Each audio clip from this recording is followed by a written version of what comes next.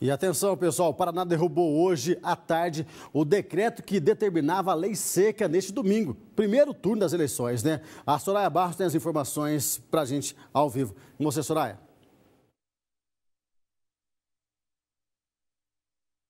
Isso, Cid. Na última, então essa semana, né, a Secretaria, a Secretaria Estadual de Segurança Pública tinha informado que estaria proibido o consumo de bebidas alcoólicas neste domingo, das 8 da manhã até as 6 horas da tarde. Mas este decreto, que foi publicado pela secretaria, foi derrubado, então foi revogado.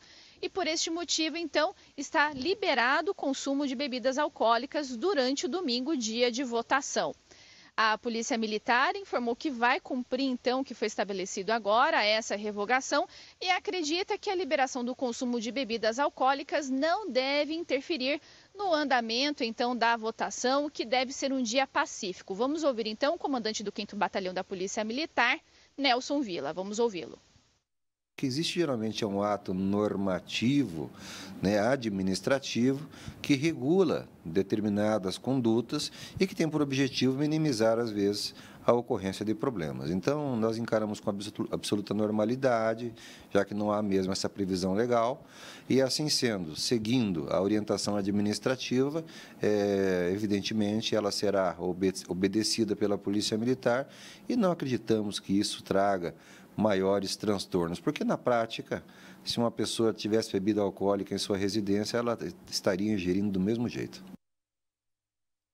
Bom, para este domingo, a Polícia Militar contará com um efetivo de 400 policiais em regime aí extraordinário em razão então do dia de votação.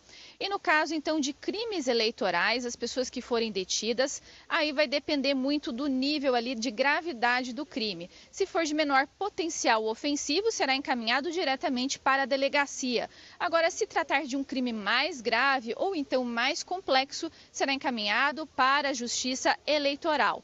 Todas as prisões também serão informadas ao juiz eleitoral, que estará de plantão neste domingo, acompanhando então todo o processo da votação. Foi o que explicou o Tenente Coronel Vila, comandante do 5 Batalhão. Vamos ouvi-lo novamente. Normalmente, quando se pratica qualquer tipo de crime, nesse caso específico, crime eleitoral, nós faremos o encaminhamento, caso seja uma infração penal de menor potencial ofensivo, à Polícia Judiciária Estadual. Caso configure-se uma infração penal que saia da pena abstrata, que consubstancie a infração penal de menor potencial ofensivo, será levada à Polícia Judiciária Federal. Mas, de qualquer maneira, toda a prisão será comunicada imediatamente em suas circunstâncias para o juiz do Fórum Eleitoral.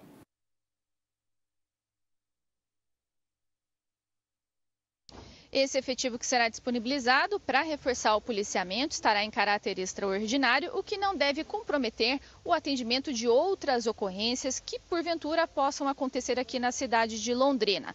Esse efetivo estará trabalhando a partir das 7 horas da manhã, principalmente no entorno dos locais de votação. Cid.